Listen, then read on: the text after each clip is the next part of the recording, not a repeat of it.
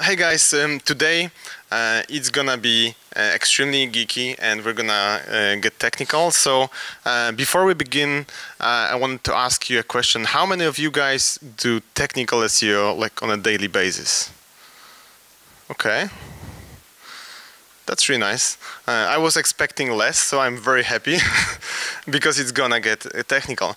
And um, I wanted to start with with um, this like very popular saying that SEO is dead. And today I wanna touch on that a lot because it's actually dead in the way that we did it a couple of years ago, and uh, we enter like the era of technical SEO. And I was told by, by my friend uh, from France that if you wanna get any attention from guys in France, just show them the case studies first. So that's what I'm gonna do. Uh, I was told you're very like hands-on. So uh, with technical SEO, we've managed to help uh, quite a lot of um, large websites all around the world uh, to improve their visibility a lot. And technical SEO is one of the uh, one of the, the, the cheapest uh, way to improve your traffic if your website is large. And sometimes you're lucky enough to get 800% growth in 24 countries within one month in a coupon niche. But that's what actually I was worried about. If you read a lot of articles about mobile first and all those new things that are coming, um, there would be some of the articles that would pop up that SEO is just makeup or whatever. So I was wondering, is, is technical SEO the future? So is that something you should focus on right now or you should just go to mobile or PWAs or whatever? And last year I spent a lot of time, sometimes I think that was a little bit too much, um, investigating this topic. And I've got one extremely interesting finding is that in most niches, that's how your learning curve looks like. So at the very beginning, you're clueless. Then you've got this moment when like, I know everything just to find out you're uh, not there yet. But that's everywhere but SEO niche. And that's how it looks like for technical SEOs. That's time, that's your knowledge, how smart you think you are. It goes like that. so the more I dig in um, I'm probably I probably feel like I know less than I knew five years ago. And that's one of the most interesting thing, and I'm gonna touch on that today. If you don't understand any of the parts, I'm trying to explain them well, but if you don't, there are links, or you can reach out to me, or you can you can investigate that later on. But I was I'm gonna try to touch uh, on as many topics uh, I'm working with as possible, just to give you an overview. And uh, most of my time uh, revolves. I'm like in a very good situation with my agency. Uh, I'm the one who gets to do the research. I don't don't work with client uh, clients that much, and I find new problems in technical SEO niche every single month, and that led me to believe that most of the technical SEO we do right now uh, is just touching the tip of an iceberg and this is the problem that we face. So our key problem right now is that most of our knowledge comes from either Google announcements, uh, Google patents, or Google Webmaster Central, so Google blog. And this is not a very, like, of course, all of, those, or all of these are important and awesome, but this is not nearly enough to what we should do. And after more research, like I figured, okay, we need to widen our research even more. And especially um, with the pace of changes that happened over the last couple of years, especially last year uh, or last two years were extremely uh, dynamic. And it was never as dynamic as it is right now. And um, you can you can see on the slide that probably some of the uh, turn points um, already happened, but we are in, in the era of change. And as SEOs, and just to finish this introduction, uh, as SEOs, we tend to get a little bit too close to what we do. So every single one of us, including myself, uh, sometimes is so close to your client, your project, to your reporting or whatever, that you somehow don't look at the big picture.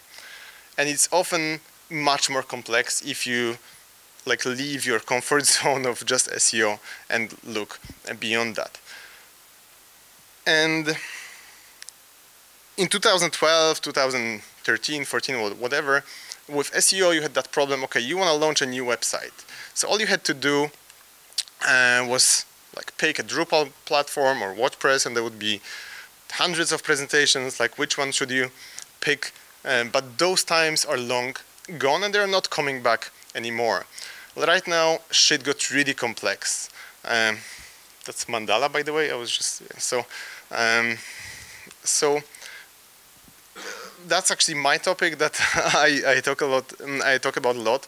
But with launching a new website, you're probably at some point gonna come across JavaScript and JavaScript frameworks. And don't be afraid. I'm just gonna try to get you through that.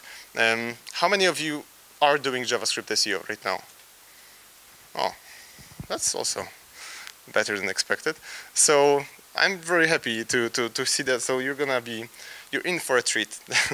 uh, so with all of the websites, it, it, regardless of if it's JavaScript or not, uh, you come across the problem that we didn't ever have. So is it gonna rank well in Google? You didn't have this problem with Drupal or WordPress, even though there were people saying, okay, WordPress is better or whatever.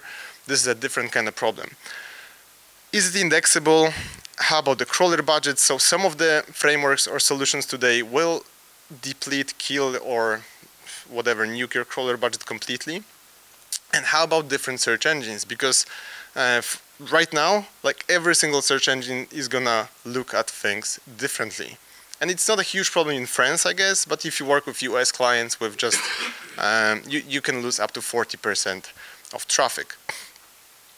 So let me try to explain uh, quickly and briefly uh, the problem with JavaScript for technical SEO. And Google and JavaScript mm, always had a very complex uh, relationship. Um, Google is one of the creators of Angular and at the same time um, Google is one of the biggest advocates, I think you can say, for a lot of JavaScript rich technologies like PWAs, like again Angular and so on. So at the same time, there is there are so many shades of JavaScript. There are so many different frameworks or configurations that it's extremely complex compared to any other um, solutions we, we were dealing with before. And let me tell you why it's complicated. With HTML, that's a cake comparison, so every, anyone who likes cake is gonna love it, I guess. Uh, with HTML, uh, if Googlebot is gonna visit your site, it's getting like ready to go, uh, ready to consume or crawl or index um, code, so a fully baked or prepared cake. With JavaScript, shit is getting really complex because Googlebot has to go through uh, JavaScript files, HTML files, CSS files, and process them all to see the final version of your website. So it's not really just by looking at code, mm, uh, like with HTML, if you would look at code, you would see all the content. It's not really like that. So all the ingredients have to be processed into the final product. And this is the problem because it's expensive. It takes a lot of computing power, it takes a lot of resources, and that's why it affects your crawler budget, your indexing, and your rankings. And last but not least, uh, JavaScript is not as forgiving as HTML. So with HTML, I did a little bit of testing, and uh, I, if you really write like extremely shit code, open that HTML code, open that in Chrome, you will see it's all nicely fixed. So Chrome is gonna fix your code even if you, like, you would be surprised uh, how good they, they are at fixing that. With JavaScript, some of the minor issues can completely kill your website. Uh, and looking at the history of that, it has all started with uh, this article and my research started with this article in 2015, where Google said that they are no longer they don't don't no longer need uh, Ajax crawling scheme, and for me it was magic. Like, what are you talking about? And they re reached out to a lot of developers, a lot of SEOs, and everyone was like, "Yeah, I know what this article is about," but after a couple of questions. Um, it wasn't really like that. So I think it was one of the most misunderstood articles in 2015. Uh, at the same time, it was a little bit confusing because uh, they mentioned uh, what was um, a basis for a lot of failure for a lot of websites that they are able to render and understand um, pages like modern browsers. And I would like to ask you, can this backfire? Like, can you see this short quote, which I was emailed by my client's developer a lot of times, can you see this going south quickly? I can show you one of the examples, but over my uh, work I probably saw uh, tens, maybe if not hundreds of those. Uh, so my favorite case study, probably some of you may, may saw that, um, but this is like an extreme fail. Um, Hulu.com, so the biggest competitor of Netflix, I think they're equally big in States, figures, okay, we're gonna launch a JavaScript website and it's gonna be fine. And if you see the, if you work with Searchmetrics, if you, if you see the scale of their visibility, that they've lost millions of visits per day. It was 40% uh, drop over a couple of days or a couple of weeks. They were one of the biggest losers, actually the biggest loser in, in the world. Um, and if you see how much they, is that a pointer? How much they um, like how much above are they are like from other losers it's like it's really massive and the key thing is that they didn't even drop they were completely wiped out of google uh, google's traffic so if you watch south park uh, like i do sometimes and they would go 97 positions down and all of these shows that people would usually watch on hulu they couldn't find it anymore and so they had to switch to something else and if you want to read more about that, that's a pretty old case study, it's like year old. so yeah, in in this uh, yeah. Um, but anyways, um, just so you know, for all of you, but I'm guessing there is not many. But if you're still not convinced that this is something you should care about, most of big players already moved towards cl uh, client render JavaScript or some kind of uh, JavaScript frameworks. Um, uh, I will touch on YouTube, which is not here, but I think that YouTube is one of the biggest client-rendered JavaScript website mm, websites out there. Of course, Google, Facebook, Netflix, Facebook with React, and hundreds of other websites. So it's like a silent revolution in SEO community, but you will see websites that uh, have this problem sooner or later. And let's focus on the biggest frameworks. One of the biggest frameworks out there, I think right now, uh, looking at the statistic, would be React, which is like much bigger than, like much more popular than any other. Actually, for all the purists out there, React is a library, but let's make our life simpler. Simple. So there are three biggest frameworks: Vue, Angular, and React. Angular is supported by Google. Uh, React is supported by Facebook. So these are like big players, like competing on this field. But there is a lot of notable frameworks as well. Uh, and there is a rest of the pack of semi-notable frameworks, but this is not even 50% of the frameworks out there. So it's getting really complicated and everyone wants to have uh, its, um, like most of the companies invest in some kind of framework recently. But the key question for now is, are they okay for SEO? We don't need to know all the differences. We don't need to dwell into details as much if they're okay for SEO. And if you reach out to people who actually create those these frameworks and work on them, uh, like Jeff Whelpley from Angular, they will often say that if you care about, I don't know how, how far can I go, uh, before it explodes. But if you care about SEO, you still need to have ser server rendered content. And this is about uh, at Angular conference. And you see that if someone who's a creator of the framework or co-creator is telling that, and your client's developers would be, we don't need to do that. Those are some things we can use uh, to, its, um, to, to help us out with uh, with working with that website. Um, but at the same time, there is one statement from Google that's completely on the other end of the of the on the scale. So uh, they are then the word generally should be like in red and flashy red here, able to render and understand your model modern pages like modern browser. Uh, so I think we should kind of stop here for a second and think, okay, which way should we go? Because you will get uh, you will get one of these quotes when working with your clients, because developers are gonna Google that is is JavaScript indexable, and they will send you uh, this, and you at the same time will send them this, and this is gonna be just back and forward. And this is where we enter a little bit of chaos in communication. And you need to prepare, there's gonna be a lot of chaos here, and with all my research that I do, it's normal when something is growing as quickly as the technologies right now. So anyone, everyone wants to be first. Google versus Facebook and Hulu versus Netflix and so on. So we can expect more and more chaos coming because it's growing so fast. It's impossible to do that in a in a gentle way.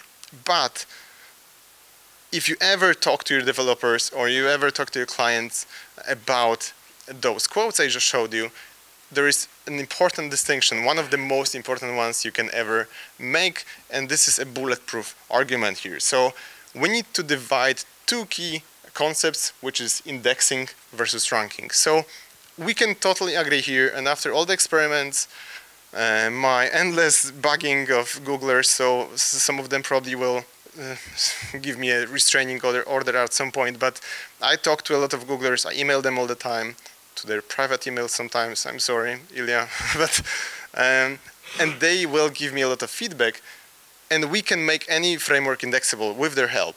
Like they do a very good job with that, and um, you can. I, I, will link to, to, to articles explaining that. So we know Google can Google just Google can index most, actually all of the frameworks if done well.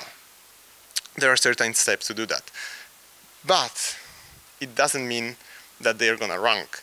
So the key question here is can you rank with a JavaScript website? And this is something we should talk about with our clients or developers because indexing versus ranking rankings are two different things. And even indexing has issues which we're going to touch on. So as most of the Googlers would say, mm, this is one of the most popular reply I get, there are different factors at play here. And Uh, so, um, see, now the whole presentation is ruined because of you. Uh, I'm sorry, I'm done. Uh, but um, if you uh, look at hulu.com again, um, we can search for shows that are only available on Hulu. Like South Park, you can watch in many different places, but there, there are shows that you can only watch on Hulu, so it's in Google's best interest to let you find them. Because if you have a favorite show and you can find it in Google, that's like searching for something in Bing. Um, so if you go and search for difficult people, which is a Hulu uh, show, and you use the, the, the, best keyword came, that came to my mind, watch difficult people online, Hulu is number two under what I think is a torrent website. Um, Naruto also an exclusive show that you can only watch on hulu.com. Uh, Crunchyroll and then torrent websites uh, casual um, show I actually watch mm, on Hulu sometimes. Um, also, you, you won't find it uh, in Google. So that's something that you, you can see a huge problem here because there are millions of people in the States looking for those shows at Hulu because you can't find them anywhere else that you can't find. So that's a very cool example. Those pages are usually indexed, but they're not ranking, even though there's a huge player. And to uh, show you even show you that even deeper problem with actually hulu.com only if you co copy any of the paste uh, any of if you copy any of the content from their website um, and search for that in google uh, you won't find hulu.com again so so even for such a uh, long tail long long long long tail queries like their own content they won't rank uh, so I think what we need to look at that right now the biggest uh, like the biggest race uh, between some of the titans, some of the biggest players is on the field of on SEO. And we knew that for a while, but right now this is also uh, something that they do with use of the best modern technologies, expensive technologies out there. And this is one of my um, favorite examples showing some of the problems that you may encounter. So Vimeo and YouTube are both JavaScript uh, client-side rendered that's a long mouthful. Client side, client rendered uh, JavaScript websites. I should be better with that after so much, but yeah.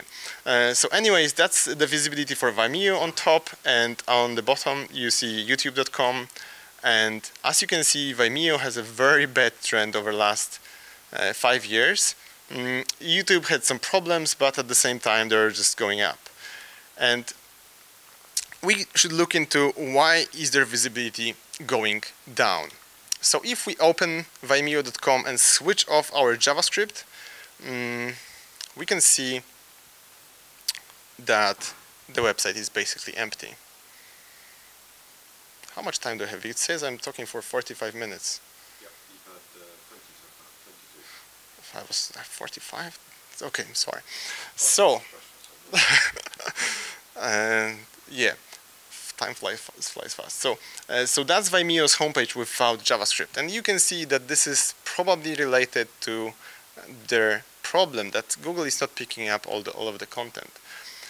So if you think about that for a while, uh, I will tell you about YouTube. I probably spoiled, spilled the beans already, but uh, YouTube secret no one ever told you. That's the worst clickbait ever. So YouTube is a client. I probably shouldn't have said that before, but YouTube is a client-rendered JavaScript website. And if you look at uh, YouTube with JavaScript disabled, this is what you get. This is a very non-interactive white uh, website. And, which is really interesting, they rank well instead of that because they're pre-rendering for Googlebot. And let me quickly understand, who, know, who of you doesn't know what, pre okay, who of you know what pre-rendering is? That's also very nice. You guys are good technical SEOs in France. Anyways, um, pre-rendering means that there is a service that goes and looks at this JavaScript and bakes that cake for Google. so uh, processes all the and renders all the JavaScript into HTML and serves just HTML or CSS, uh, just raw HTML to uh, to Google. Probably the best explanation out there, but you know what I mean. Uh, so the question is, why would YouTube do that if they're so good with processing JavaScript? They do that because YouTube wouldn't rank well. So that's a very simple uh, explanation here. Uh, and coming back to uh, one of my favorite fights, as you can see, uh, favorite battles out there, so Hulu versus Netflix. Uh, and if you ever watch American like fight movies, it's a very even fight. So you can see no one is clearly winning. But recently, just recently, and it's like that for last seven years or so, um, recently Netflix is taking over. And if we look at those two websites, and what I do here is I disable JavaScript with a plugin because I'm lazy and don't want to do that in the other way. Anyway, I disable JavaScript with a plugin. You can see the difference. So Netflix with JavaScript disabled, working. Uh, fairly, fairly good website. Probably you, I'm not sure if you're gonna watch a movie there, but you still you can still send, see the content. And um, Netflix is one of the pioneers of uh, some of the technical solutions with React. They're very close with React framework and they do a lot of very cool shit with it. The, the, their shit is cool in uh, so cool that even Googlers show them as one of the best examples of um, how to deal with, with, with JavaScript framework. So that's Jake Archibald from Google uh, Chrome um, saying that this is really good way to do that. So, it's not all that nice if you think, okay, they improved the performance by 50% by removing the JavaScript, blah, blah, but they, the, the case study was done for their homepage. If you ever open Netflix, it's just a huge image with two buttons. So that's probably not something you would do with your e-commerce website. So you need to take that with a grain of salt here. Uh, what they did exactly is mm, Netflix removed React, so removed JavaScript framework from the front end, so basically from what you see when you open the browser. So they removed language switcher, um, buttons on the, top, on the bottom of the page, and client-side log login library.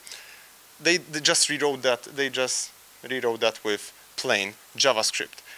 And this may seem like nothing, but this resulted in so all the headlines would be that they removed JavaScript, but they didn't. They just rewrote React with plain JavaScript.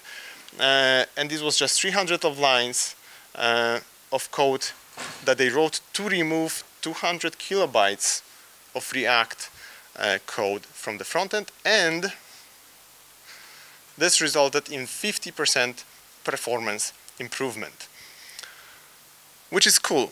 But you may see, you may think, okay, this is just 200 kilobytes. What's the problem with that? It's not worth uh, doing it. But the key problem with with JavaScript and with performance here is that JavaScript is extremely expensive. It's, and I don't mean how much developers make per month, uh, which some of you may think of, but it's expensive for our machines and for Googlebot and for other search engines to process. So it's extremely expensive on our CPUs mostly.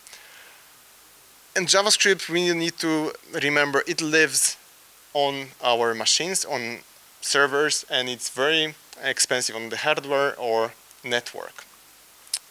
Uh, and even if you open some uh, some JavaScript rich websites, you will see um, a huge spike in your CPU usage on your desktop or a laptop, which is actually quite surprising. And how many of you own iPhone X here? Okay. Very bad example for this presentation.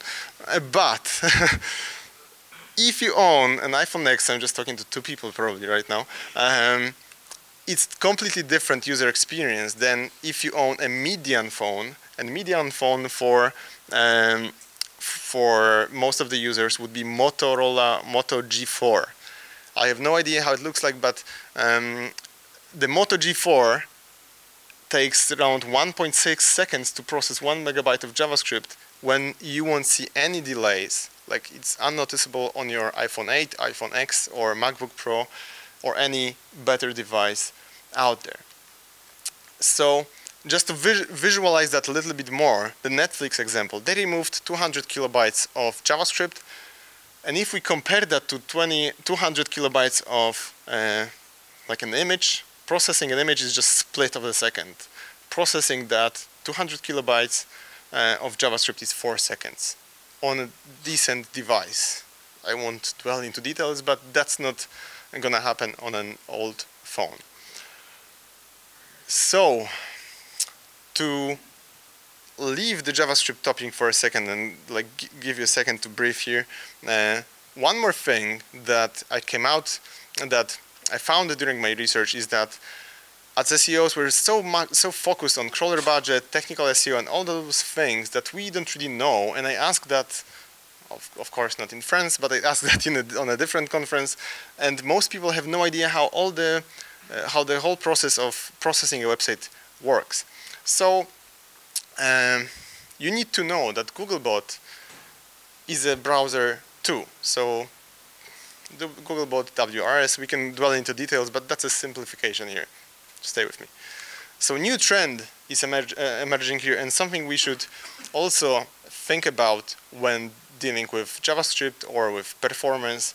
Uh, and how many of you have seen this screen? Seriously? Ah, oh, thank you.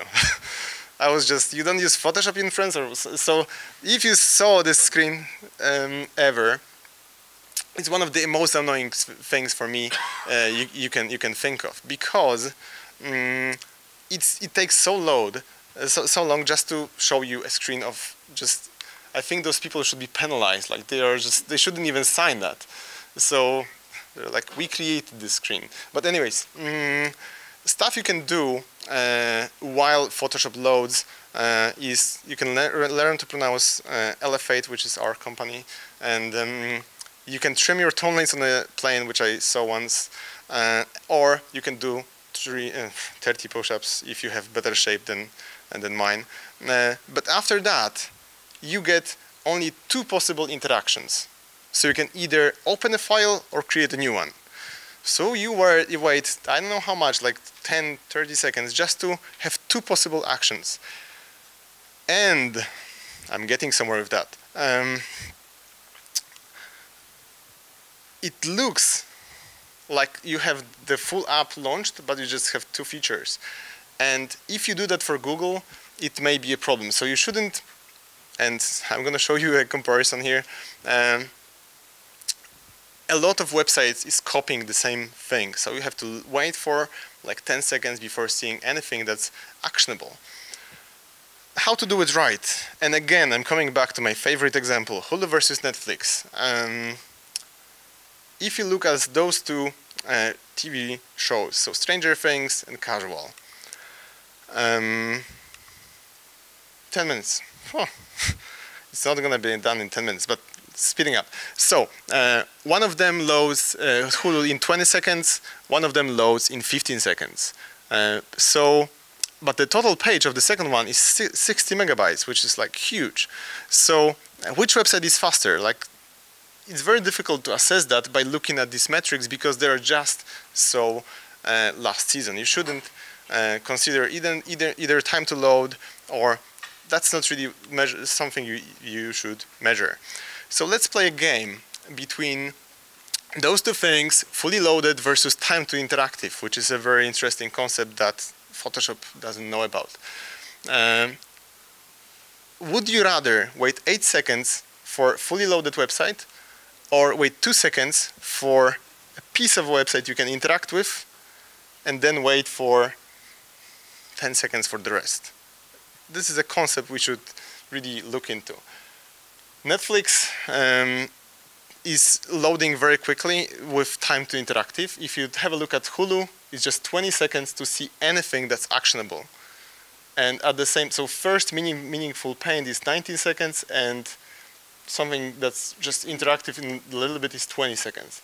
At the same time, that's how it looks like for Netflix. So there's a lot of new metrics we should, uh, we should look at while optimizing our websites.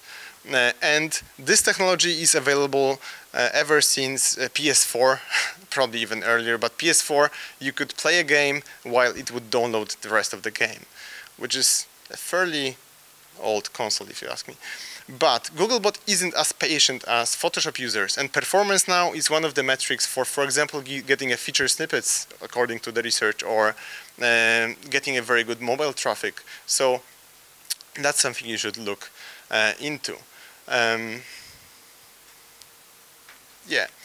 Uh, so I'm gonna go a little bit quicker because the time is running, but um, going back to JavaScript, uh, it also affects the crawler demand or crawler budget, which we talked about before.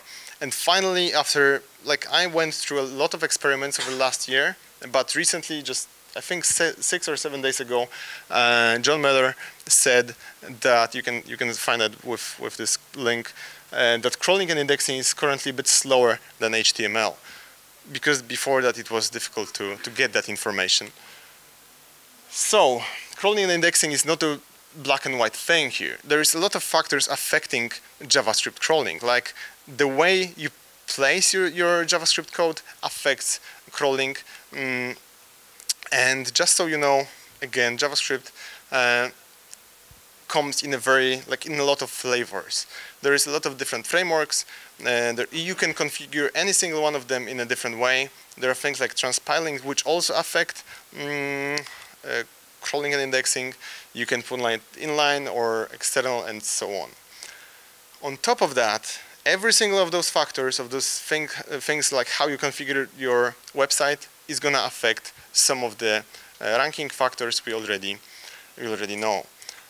But if we look into search engines other than Google, and I'm going to just go quicker through that because I was trying to speak slowly, advised by organizers, but um, there is a Bing thing I wanted to talk about.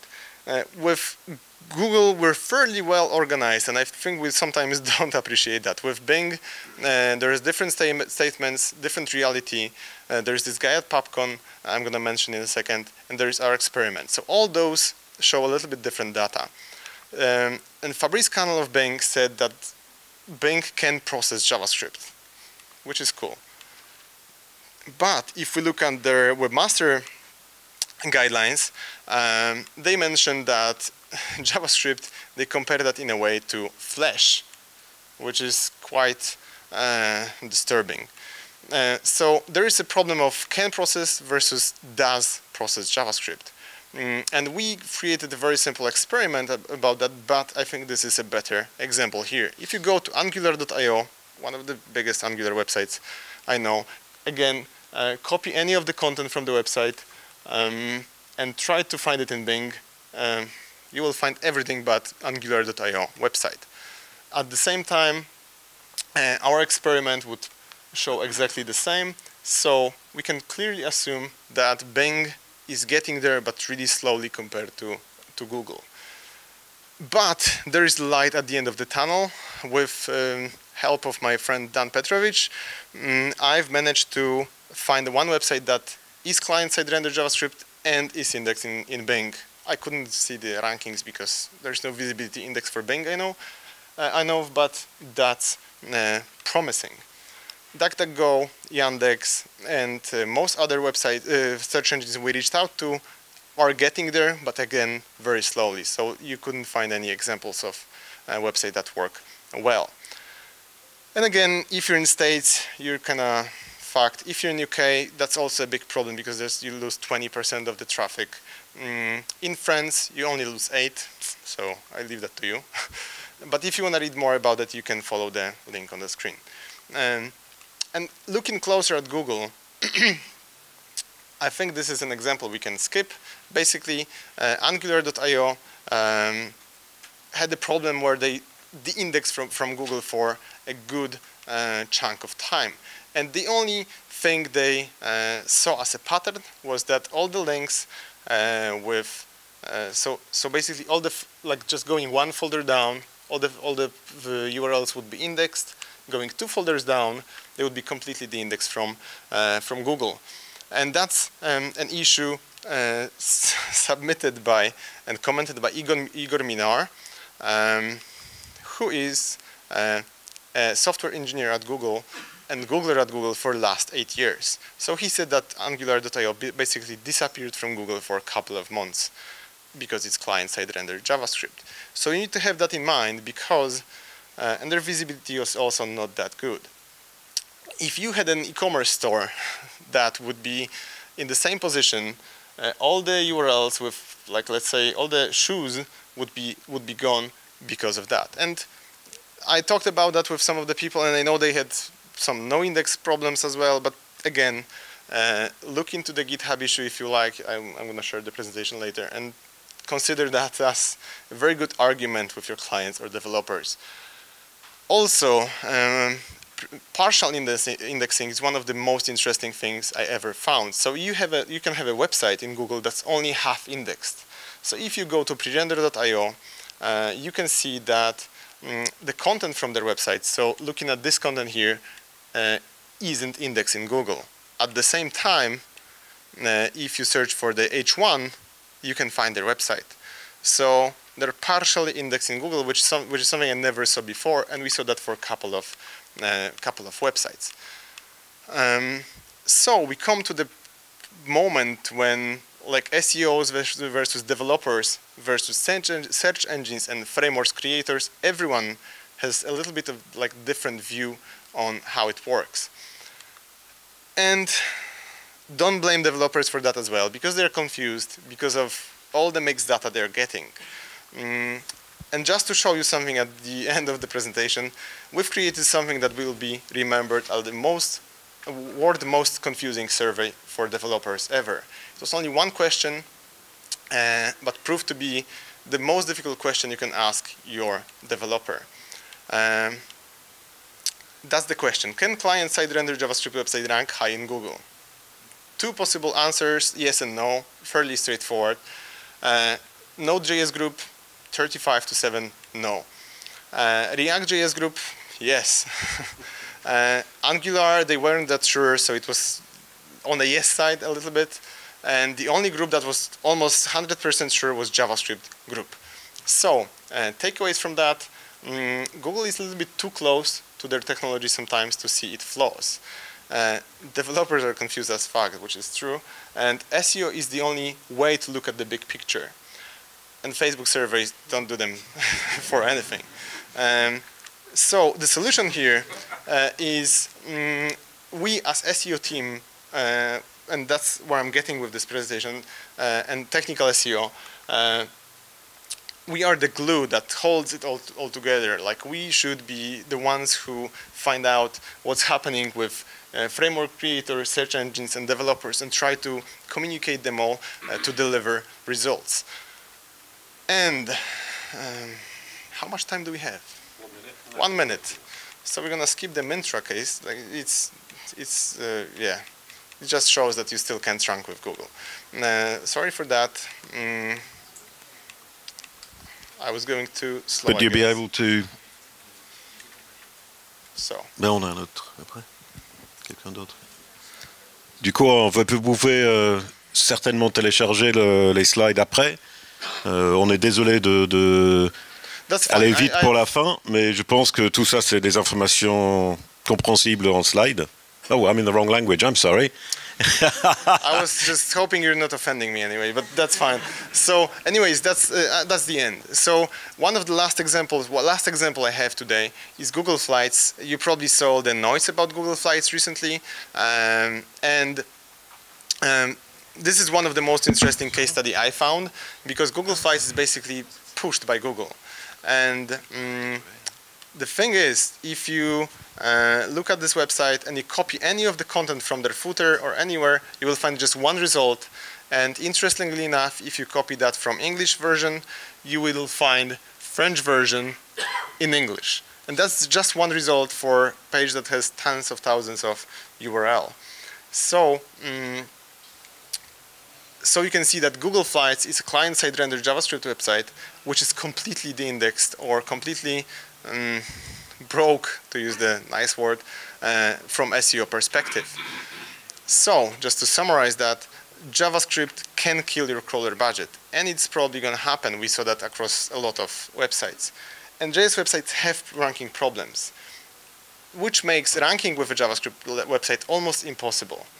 Um, so if you're about to launch a website, which is like a pizzeria, I wouldn't use React for that. But I'm almost done.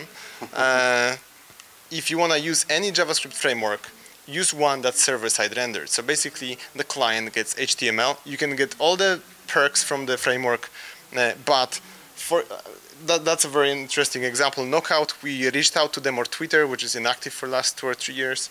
Uh, community is gone. Like if you use Knockout and you want to do anything with it, there's no support here. So use one of the frameworks that has any support for, for example, server-side rendering. Uh, and with technical JavaScript is the future here. And right now Google isn't perfect with that, but they work on a new WRS engine, which is most likely be based on Chrome 59 from what I gathered to squeeze out of Googlers. Um, they will do that better and faster, and they're the only ones who do that right now. And this should happen at the end of this year or the uh, beginning of 2019. Uh, if you want to get started with that and you didn't understand some of my uh, presentation today, you can go and follow this link. This is like the 60 pages guide to JavaScript SEO. And I think we should wrap this up. Uh, but the key thing is that you can deliver very nice growth with technical SEO, with JavaScript SEO, but it's not only about those nice looking charts that I was asked to put in this presentation, it's also about reacting to changes, which is basically done uh, by investing your time now in JavaScript SEO. Uh, yeah, that's it. Thank you very much. Thank you.